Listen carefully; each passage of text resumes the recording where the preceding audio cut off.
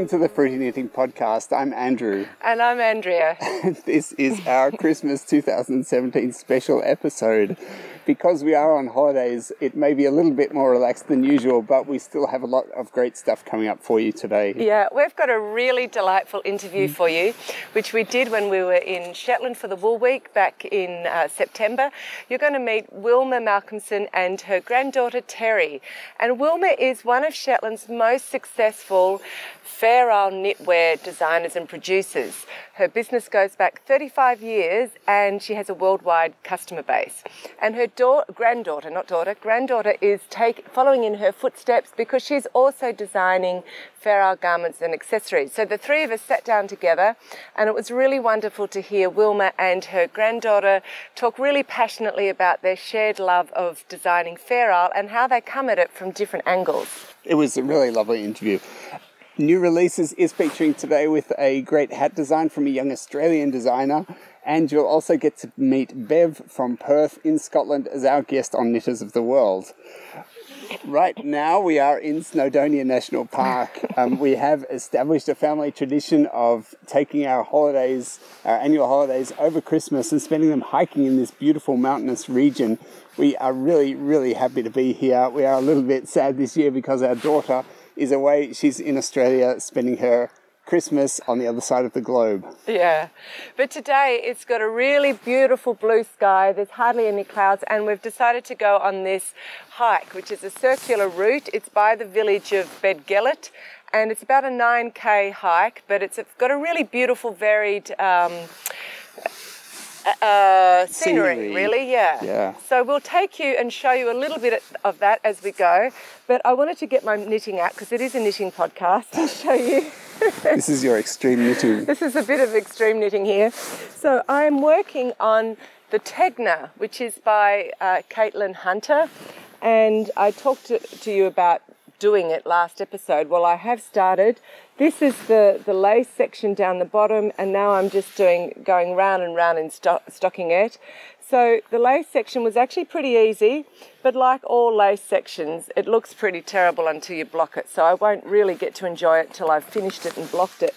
But I'm using uh, Madeline Tosh. I've never used Madeline Tosh before. It's the Tosh Mo Light, I think. Yep, that's and right. I think that's it's 80% merino and 20% kid mohair. So it's kind of a first for me, and it's orange. It's not, not green. green. It's not green, yes. But I'm, I'm sort of enjoying it. It's very, very easy. So it's a perfect kind of thing to be taking on for extreme knitting. Yep. And you've adjusted that for yourself, haven't you? Yeah. So I've uh, I am going to do some changes on this. I'm going to make it more into a wintry garment and change it a little bit so that it suits my body type. Our dog just ran really fast after a bird right by the stand. we were looking very scared. Jack, come here. Okay, but I'm going to tell you more about this detail when we're sitting in a proper sit down podcast. I just yep. wanted to show it to you. Yep. But what we really love doing, we've done this walk a few times already, and what we really love doing at the end of it is going to this very special cafe and having fantastic scones and jam and clotted cream and English tea. Yeah, the, this this cafe is really special. The the uh, scones and clotted cream are some of the best that we've had and their reputation is obviously widespread, far-reaching because the cafe is almost full every time we go there. Always full. yeah. Well, we always get in. Yeah. But um, the the other special feature about this cafe is the owner who. Um, each year we go there pretty much once a year. Each year we come here, and every time we go there, he meets us at the door with uh, sort of long drawn face and a complaint about the fact that he's already sold all of the scones that he's made and he's going to have to make another batch or his, I think his wife will be yeah. making another batch. Or the cafe is so full he can only just squeeze us in and it's all quite terrible. We think he's quite an Eeyore character. I'm I'm curious to hear what he's got to say to us today. Yes, every single time without fail. Yep. I think he's the tourist attraction yeah, too. I think that's that's one theory of mine that he actually does it because it keeps people coming back to hear what he's got to say. We're a little bit further along our hike. It has got a little bit more cloudy, not quite threatening, but it's not as bright as it was before. Uh, some of you have told us that you have some connection to Germany, and so you really enjoy seeing the different parts of Germany that we bring you in our extreme knitting segments. Yeah, and it's Christmas time now, and Germany does Christmas really well. They're very famous for their Christmas markets, and many of the villages around Germany have got spectacular Christmas markets. They're very old and very famous. And typically, the kinds of things you'll find is these very tiny, half timbered houses, all festively lit up. There's always an aroma of mulled wine and grilled sausages and gingerbread and roasted Chestnuts. chestnuts yeah, wonderful things to eat. And there's also lots of traditional craft products and beautiful wooden toys for children and lovely Christmas decorations. So they're fantastic festive places to go and visit. Unfortunately, we didn't have time to go to one of the more famous um, village Christmas markets to show you before we came here to Snowdonia, but I did get to go to Frankfurt and do a little bit of footage of the Frankfurt Christmas market. So I hope you enjoy it.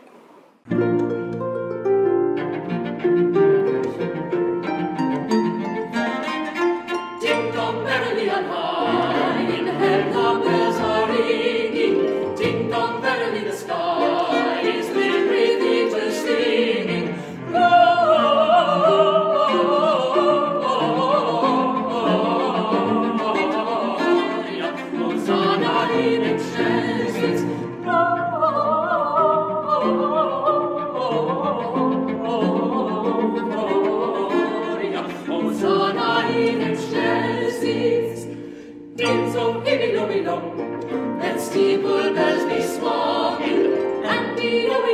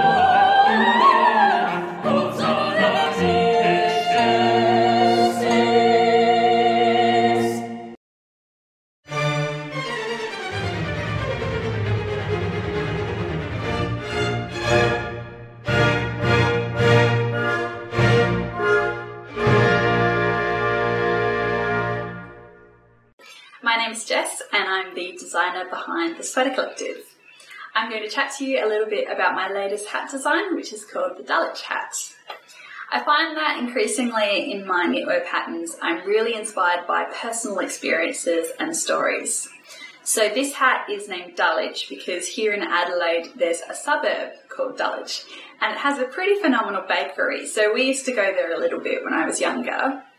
And there's also a real family connection with us about pastries and baking and sharing what you make with others. So the lattice work cabling in this hat really reminded me of the lattice you get on the top of something like a pie or a tart. So I really wanted to bring all of that together in this design. You start your hat at the bottom here with the brim. You work an alternate cable cast on, which if you haven't done one before, it reminds me a lot of the tubular cast on method, but I think it's a really easy technique if you ever find that a bit hard. You work in one by one ribbing. I've used a really short brim on this hat just because I like the look of it, but it's totally customizable. You can make this brim as long or as short as you like, so you can even turn it into a fold over brim if you just work double or a little bit more than double, maybe three times the number of rows of ribbing. You then work a row of increases and then it's straight into this really fun cable pattern. What I love about this pattern is that it's not just cables on a background of reverse stockinette. You have these little windows that alternate between the right side and wrong side of stockinette. And I think that has a really lovely intricate effect. It looks great from a distance and then close up you see all the details that are in it. So I love that. Something else that's really interesting about this cable patterning is the difference in gauge between it and the reverse stockinette top that you have on the hat. So if you're interested, I just thought I'd show you my gauge swatch for this design. There's no change in needle size or stitches, but you'll see how much wider the reverse stockinette is compared to the cables. You don't have to worry about that because that's all worked out in the pattern for you. So as you work this final section of cables where these points are, you work invisible decreases. So sometimes you're working a pearl two together in the stockinette section, and sometimes as you work the cable, you're decreasing the stitches as they're being twisted. So you can't see it at all in the end, but it means that the hat is the same size throughout, it's always the same circumference. So then we've got the top, it's got this really cute gathered effect, which is done by a really rapid number of decreases. And then, of course, I had to finish my hat off with a pom pom. You don't have to if you don't want to. It's totally optional. Just leave it up if you don't want it. But I'm pretty obsessed with pom poms, so I had to put one on mine. Something that's really special about this hat as well is the yarn that's used. I used Karoa fibres, which is an Australian wool.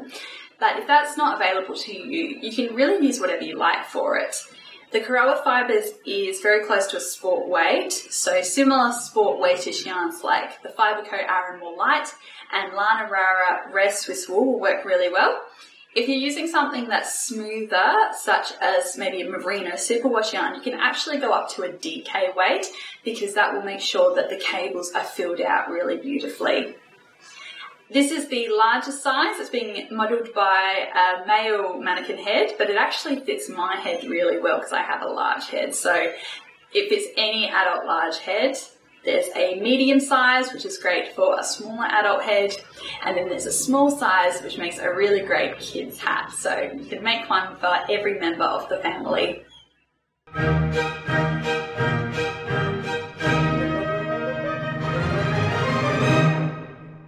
Thank you to Jessica Gore for presenting that lovely uh, Dulwich hat to us. Um, Jessica is from South Australia, lives in Adelaide, Andrea, which is where you studied. It is. It's where I studied. I did a piano performance degree at the Adelaide Conservatorium, which is part of the Adelaide Uni, and I totally loved living there. I was there for six years in the early 90s.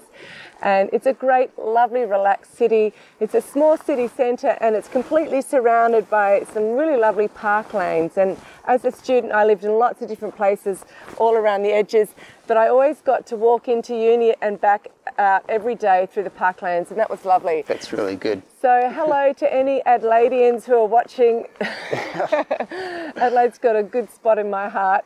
yeah. Um, Jessica has offered a discount to our patrons on the Dulwich hat pattern. So if you're keen to knit up this beautiful hat, um, you can check it out at Patreon or you can find the link in the YouTube show notes below. So now we're up to the time when we ask you to please become a patron. Some of you have written in and expressed your gratitude that our show is very well thought out and has very good co- content. And we thank you very much for telling us that and, and giving us that feedback. But it really only happens with a tremendous amount of work and planning. And there is lots of free entertainment out there. But nevertheless, this is my full time occupation I really am working on it every day of the week. and, and we can only continue if the viewers who like us become patrons. Um, so that we can keep doing it. So we do ask you if you've been enjoying lots of our episodes and you would like to enjoy lots more of our episodes, please become a patron. Thank you.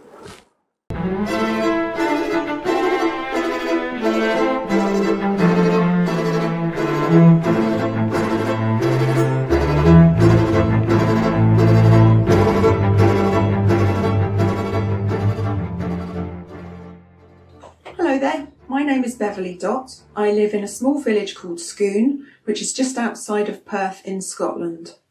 I moved to Scotland about 20 years ago. I absolutely love it up here. There's such a big sky and lovely light, and you tend to find that the colours change depending on the weather and the season, and I really love that.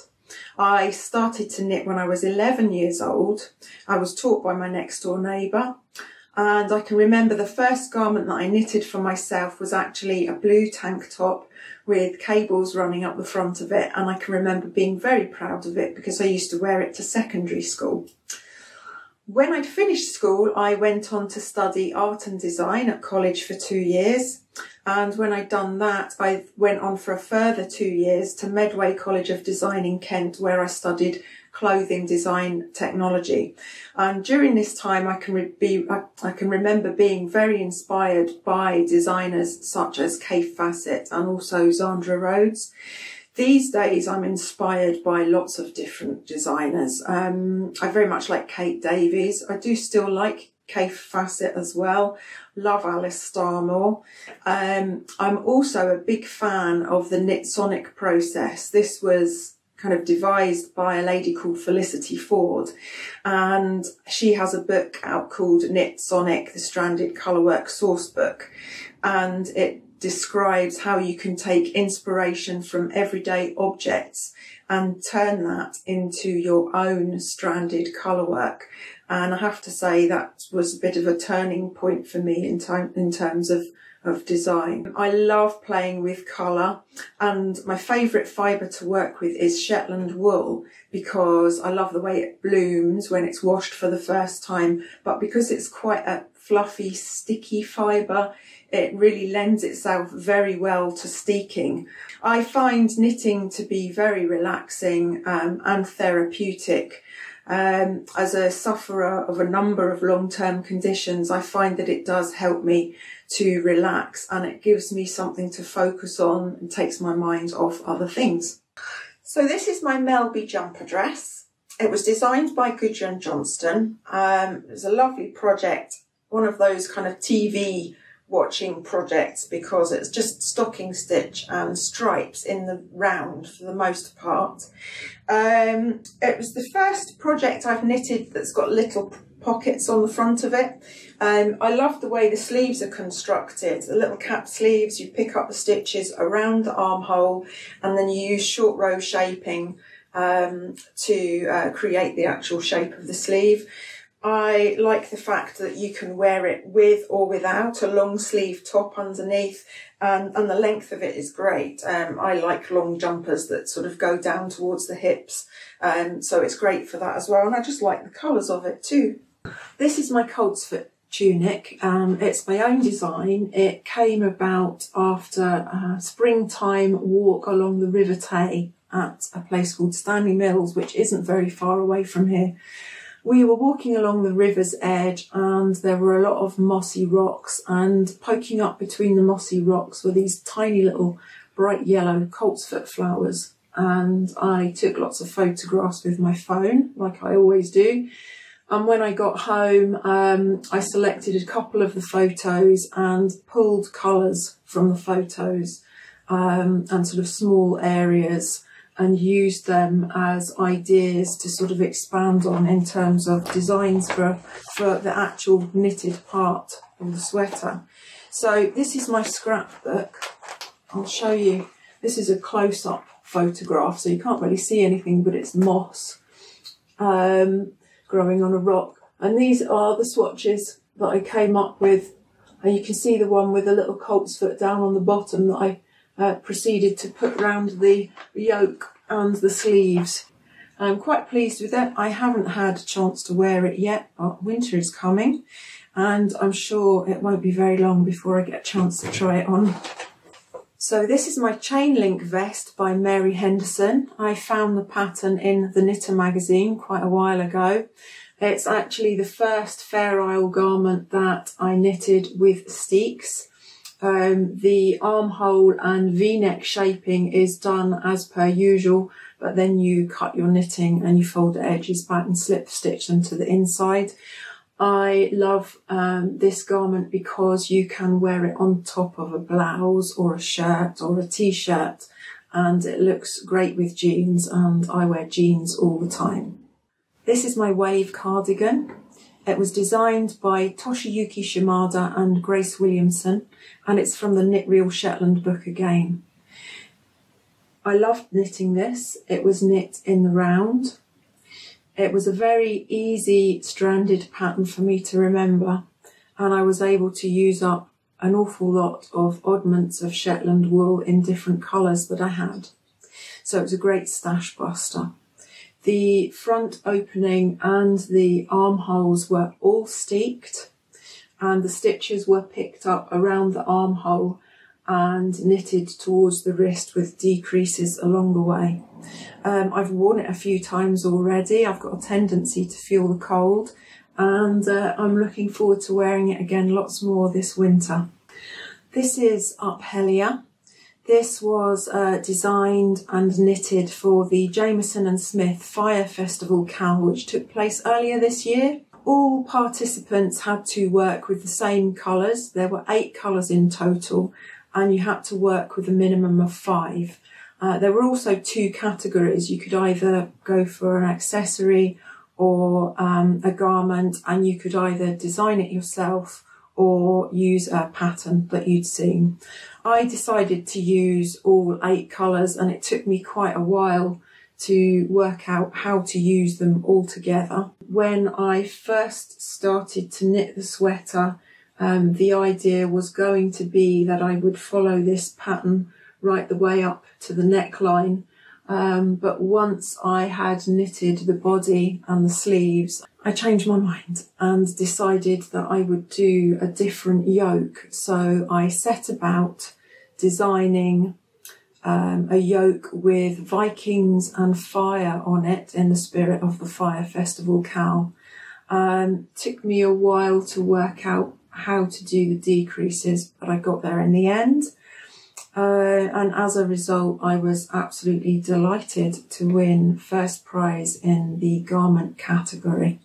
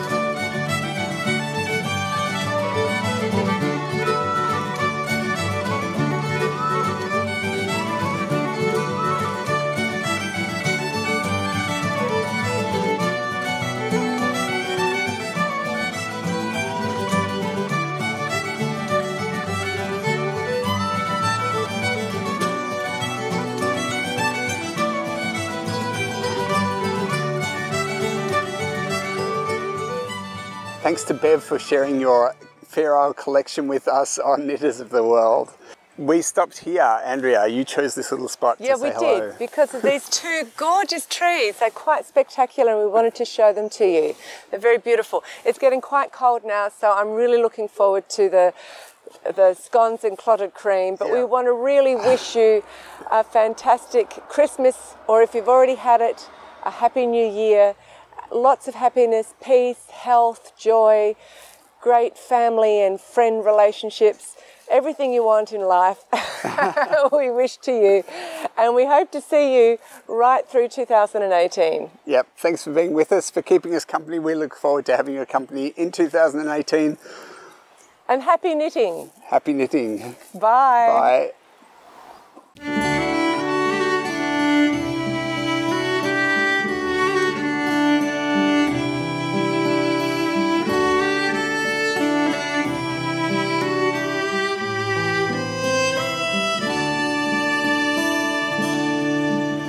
Oh, hush thee, my dove.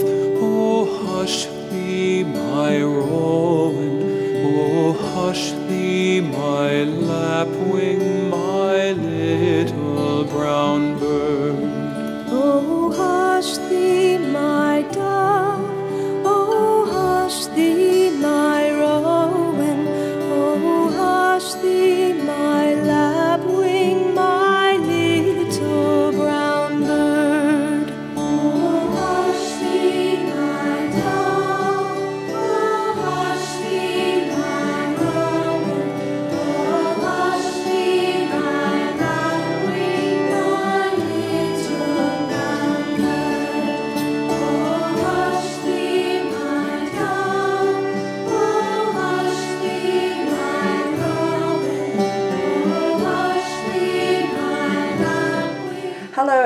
welcome. Today I'm in Cunningsburgh, which is south of Lerwick in Shetland, and I'm really happy today to be joined by Wilma and Terry Malcolmson.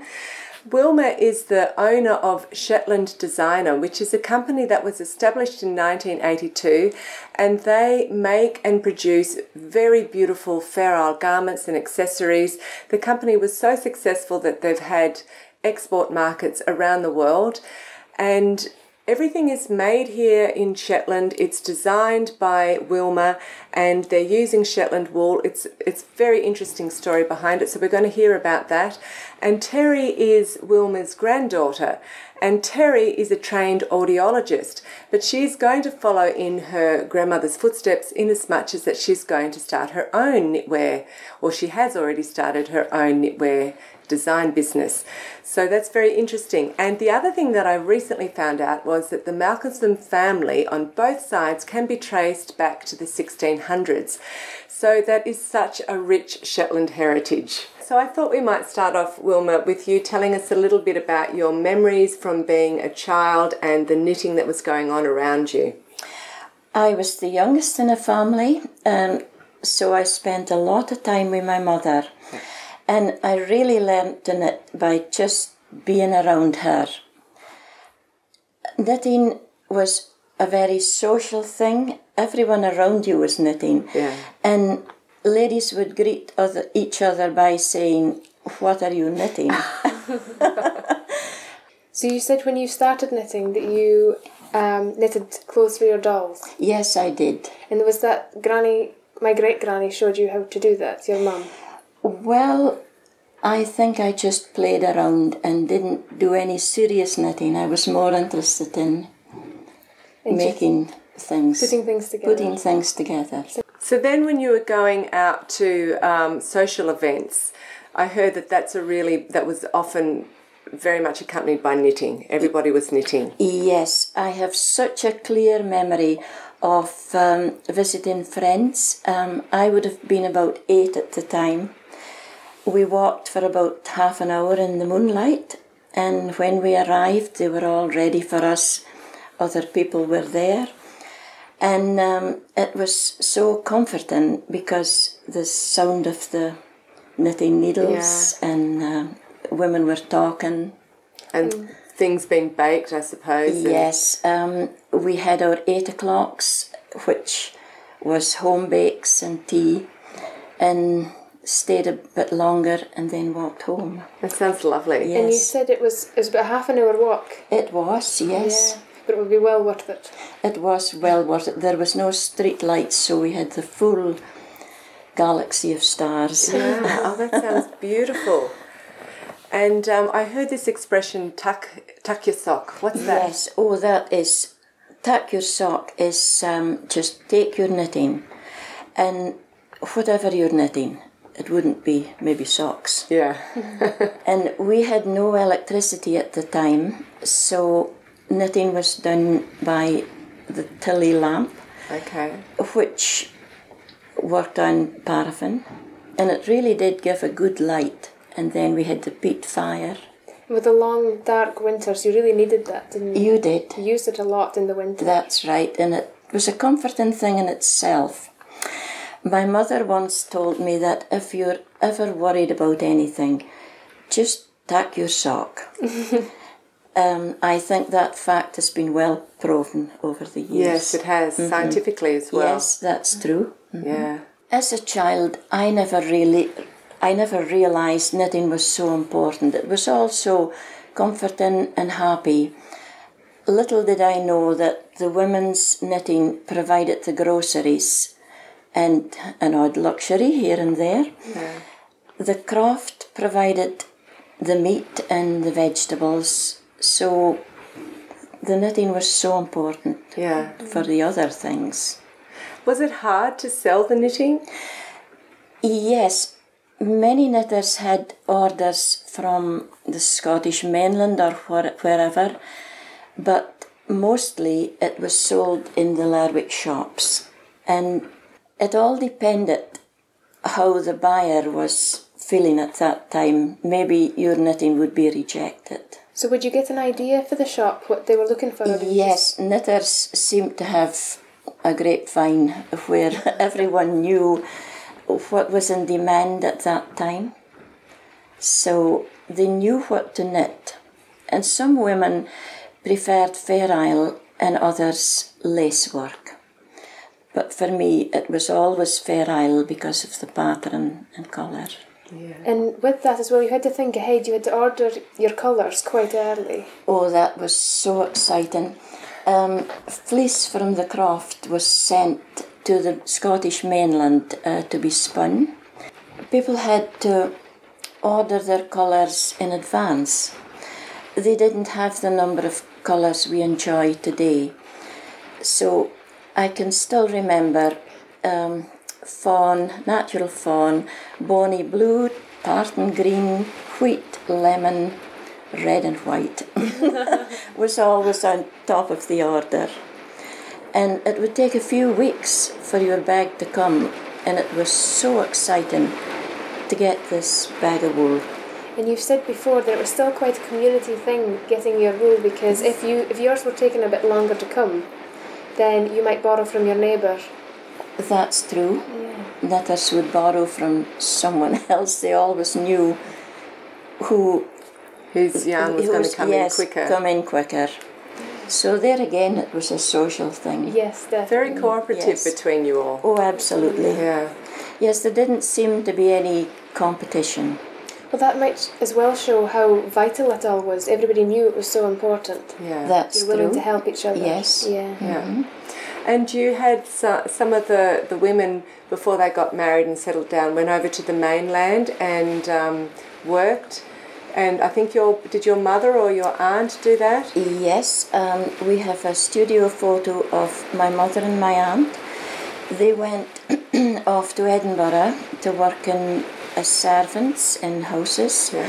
and um, they knitted all the time, of course. And my mother originally went to look after the children, but then she was asked to be table maid Quite an honour. Yes, that was an honour. And um, when visitors would come, she was very often asked to come upstairs to demonstrate Shetland Fair Isle in the knitting belt. Really? And it's so strange, all those years later, I'm doing the same. Yes, you are, aren't you? So in the photo um, that we have of them, they're wearing the jumpers that they knitted, they hand knitted. Yes, their mother sent them natural colours and they knitted Fair Isles. It just shows how timeless Fair Isle knitting is because they could walk out on the street today and not look out of place. Mm. Actually, they would look very stylish. Yeah. yes, they were very stylish, stylish So they were still knitting with their home fleece Yes, because it would be sent to the mainland to be spun, sent back home, and then they would spe- send them. Their own croft yarn to knit yes, and studio photos are so common from that era because people working in the south couldn't afford to come home very often, so they sent this beautiful photography. Yeah, it's lovely. Well, thank you for sharing those memories. Oh yes. It puts shivers down my back as I just think about walking in the moonlight and going and sitting by a peat mm-hmm. fire and eating home bakes and clicking with the needles. that sounds perfect. Yes, that was just so normal for Yeah. the time. So, Wilma, when you were around 19 or 20, I think you first became interested in machine knitting. So, we want to hear what happened before that and how you got into that. And after that, you started to employ people and your business grew. It was very successful, and you had a lot of overseas markets and exports, and, and um, particularly Japan, I think. So, we'll hear a bit about that. But start off with telling us about machine knitting. How did that happen? Well, I continued knitting um, by hand and especially Isle sweaters, cardigans. And um, when I was working in Lerwick, I became more interested in machine knitting, which was very popular. Fortunately, I married into a family of very good machine knitters, and they um, taught me the basics. And the first machines, were they capable of doing everything or only simple plain knitting? We just did plain knitting on the machines, and um, because that was the demand at that time. Okay. And then in 1977, the machine capable of doing Fair Isle, I got that machine then. Okay. It was wonderful for me after knitting by hand to get this machine that could do it quicker. Yeah. You say a lot that it's a it was a green light for you, really. Absolutely, it was a green light for me. My designs, I had more demand than I could manage. So I started employing friends, and from there, um, a few of us decided to go to a trade fair. We were surprised at the interest in our knitting by companies. So Shetland Designer was born. we had to make it more formal. We had the Knitwear Trades Association in Okay. 1982, and they supported the knitting industry. It was at the time when oil had arrived, and this association supported the indigenous industries. Everything progressed from there. And your colour predictions as well, they arranged. Was it then that That's true. Um, when going to trade fairs, it was so important to know the colours. So, representatives from the colour prediction companies would give a presentation in Shetland. And so we were up to date with Fashionable fashionable colours, which was so important. Yeah. and that was organised by the association, It wasn't was, it? So yes. They helped so much, so much with every aspect. aspect. But now I have so many patterns and colours. I don't need to. You don't need advisors. And I think I'm enjoying the art forum now. Yes, well, we'd love to see some of your designing, um, some of the concepts, because you also really love to teach, and um, so you have a, not, a lot of um, experience in sharing your knowledge and passing it on. So it'd be interesting to see how you go from inspiration into forming a pattern. Well, I make, I decide on my colours, usually now from a picture or a dish or whatever. Try to find the colours, and I use Jamieson's wool. And then I make a lot of swatches until I'm happy with the result. I have a few examples here. Terry suggests that I use my Highland stoneware plate for inspiration for this wool week. So this is the pattern. You can see the colours here, which is used. So you can see the effect of the fish scales and the red spots and this piece.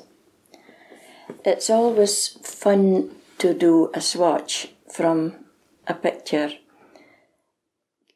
It can be quite frustrating when you can't find the correct colour you're looking for. But this is the finished the finished piece of this one. So you did quite a lot of swatching before you got to this stage, didn't you? I always do a lot of swatches.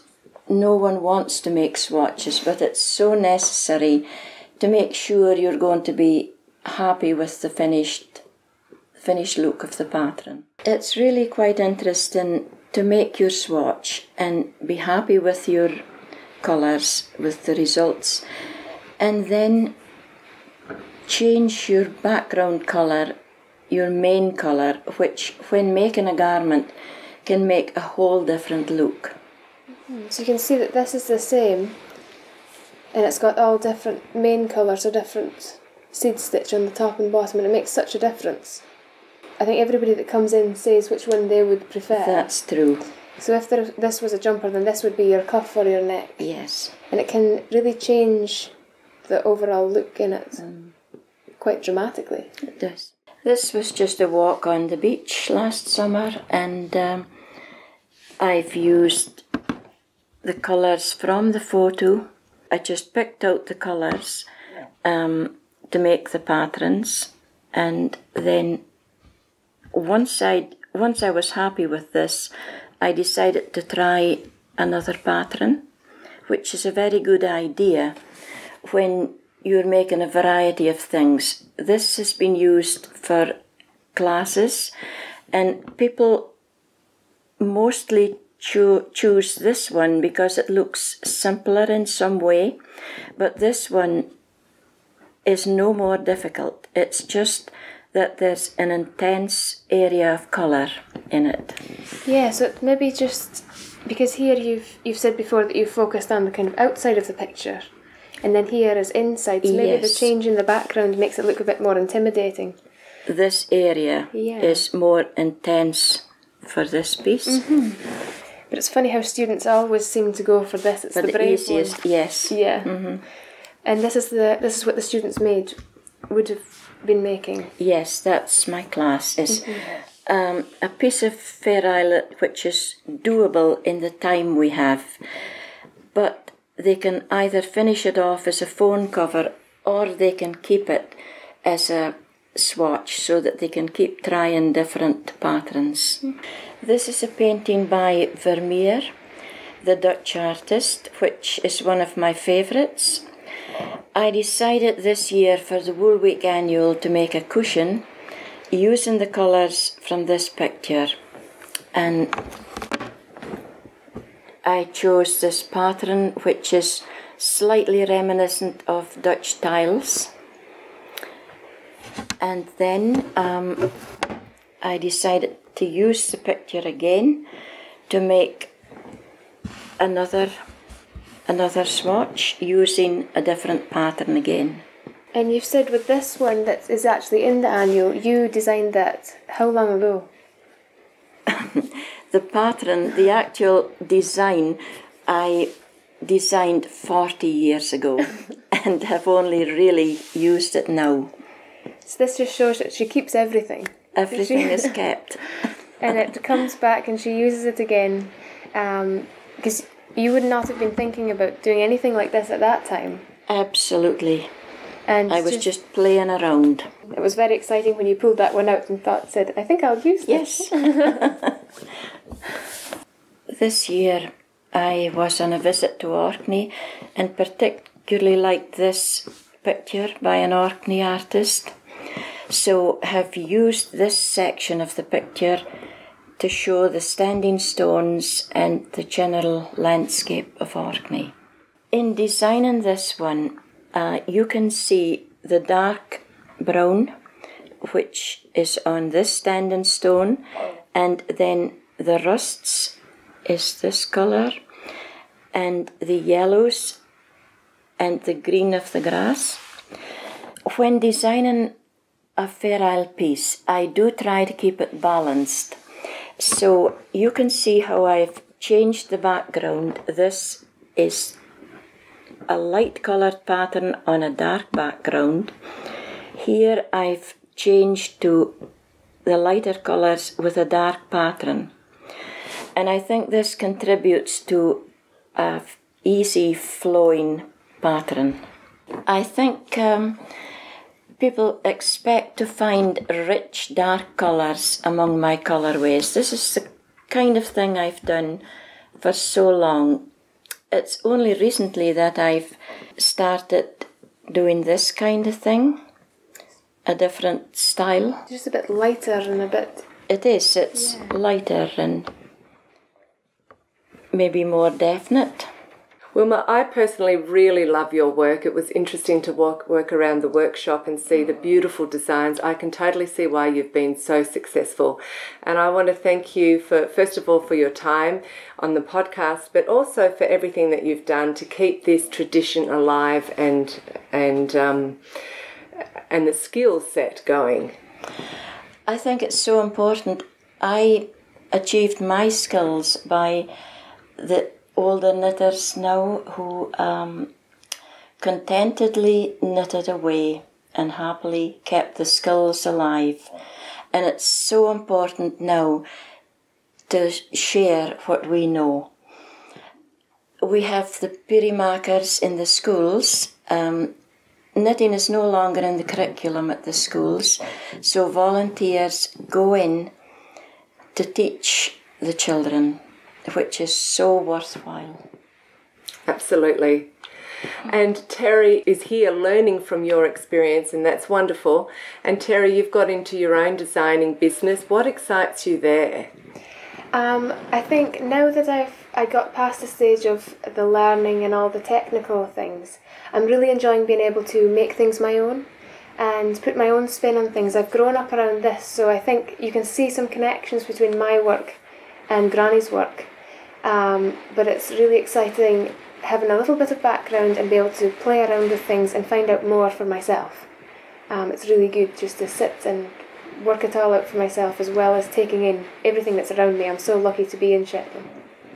I think too your work is moving on because knitwear has to evolve in time and Possibly, there's yeah. new styles mixed in with the old. Yeah, I like to keep the um, maybe the set of rules. I like to test the rules a little bit, but there is certainly um, some guidelines around what makes a traditional Shetland garment pattern, um, things like that. So I like to keep those in mind and. Um, But you're still keeping it very organic, aren't you? You're growing in an organic way, which is how Shetland knitting was. There weren't any real rules. People just worked with what they had Yeah. and developed it naturally, didn't they? Yes, I think every Shetland knitter you talk to may tell you a different set of rules, but in the end it's all the same. So let's have a look at some of your um, designs that you've done. Yep. Okay, so my design process is, I think, a little bit different from Granny's one. I, I'm probably quite an impatient knitter. I like to see things come as quickly as possible. So what I'll do is I'll start with maybe um, my background colours, and I'll make these wraps. So I'll wrap my background colours around a piece of cardboard in the order that I want them in, and then my foreground colours I'll wrap that on top with how whatever many rows there's going to be. So here in this one, you can see there's only one row of orange, so I've got one um, piece of yarn wrapping around there. And that gives me a real sense of what it might look like in the end before I start knitting my swatches. Swatches are certainly very important. Um, I would never get away with not doing a swatch, I don't think. So I'll make my wrap and then after that, after I've decided my colours, I will then choose a pattern. So I think you choose a pattern first. Yes, I do. Yeah. So I'm a bit the other way. I just like to get the colour sorted out in my head. Um, usually before I start with a colourway, then I'll have an idea of what I want it to look like. So some of mine are based on pictures. You can see here, this is photography by Ivan Hawick. He's a Shetland photographer and he does a lot of Northern Lights um, or Merry Dancer pictures. So these are based on the pictures here. So this one is my Billister Lights, and this one is my Girlsta Lights. So it's two places in Shetland where the picture is taken. And I've kind of taken the picture and translated it um, into the Fair Isle. So if there's a little bit of colour in the picture, there's a little bit of colour in my Fair Isle. But that's only one example. In other cases, I've maybe had a person in mind, whoever's ordering the um, jumper, it usually is, they'll uh, tell me what kind of colours they want, and I'll look at them and what might suit them and what they normally wear and get a real sense of their personal style before I would make up the garment. So it can be different for each one, and all my colourways at the moment have got their own little story. I've maybe not had the pressure that you had of having to think something up quickly depending on the predictions. I've been able to take my time so far and have a real reason for every colourway that I've got. So this one in particular um, was made for a person. So they'd noticed I hadn't used reds in anything else that I um, had made. This is actually my boyfriend. I think he was just trying to test me to see how how much I could do. so he said I might want a red jumper for Christmas. So there I went. I really wasn't sure about it, but I really he's quite a, he's a person that likes wearing colour, but it, he doesn't want it to stand out too much. So this you can clearly see it's a red and grey jumper, um, but it's not too kind of in your faces, maybe the orange was in the previous one. Um, and in my sketchbook here, I've just got my wrap again, same thing that I did, and some works in progress, as well as some other finished things that I've done with the colourway. And this is really good. I can show these to any visitors that come and want to see my work. And I've also got spaces where I can add other things later if I want to. I'm hoping to continually build on everything that I'm doing. So it's a really exciting book, this one, but I think very soon it won't be able to close. so this page is different again. This was actually a commission for a wedding. So the bride had decided um, on her bridesmaids' dresses, and she's quite a crafty person herself, so she was having a piece of yarn on her invitations. So I got the colour of the yarn that was on her invitation, and the bridesmaids' dresses hadn't come yet, so I actually had just had to look on the website of what they were going to be. Um, so that was kind of my basis. She gave me some ideas of what else, what other decoration she was going to have, and I just had to go for it. So this was three um, sleeveless pullovers for the page boys. You can see one of the page boys here. And I just tried to keep it simple, a nice wedding. I've got here what the hall looked like on the day. Um, so thankfully it does match in. It was quite a lot of pressure for me because this was just really when I was really getting going, really trying to focus on what I was doing. And the picture of the bridesmaids' dresses that I saw on the website actually looked they looked more like the blue colour on the website, but they came this green colour, so that was lucky that I still had that included um, in my design. So it's very it's very simple because it was going to be younger people wearing it, um, and just the little bits of colour while not taking too much um, attention, I suppose. You wanted it to be, you could see that um, it was a piece of Fair Isle and it's very um, contrasting, but we didn't want it to take over from everything else that the bride had planned. So there's a lot to consider here. And this was the design of a cushion I made for them to keep afterwards so that they had something of the Fair Isle to keep for themselves. So that was really exciting. That was really fascinating to see your process, and I can see that um, this scrapbook is really going to be a bit like Wilma's wall of swatches for you. It'll be a collection of, of things that you'll be able to keep referring back to. Yes, definitely. It's there's all kind of a bit of a portfolio. Yeah, and you've definitely got the genes coming down. so that's great. So if people are interested in your work, they go to your website. Is that right? Yes, there's a lot of information on my website, and I have a monthly blog as well that you can subscribe to.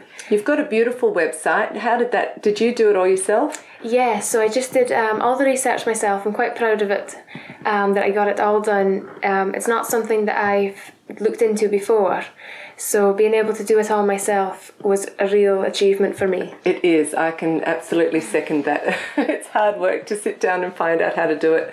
But well done, you've done a great job. Thank you. And I want to thank both of you for giving me your time to come and be on the podcast. And it has been a real privilege to meet you, to hear about the history of the Shetland knitting, to see your beautiful designs and to see how it's developed and to see the future with, with Terry's work. So thank you very much. And um, we'll say goodbye now to the viewers. Bye. Bye. Thank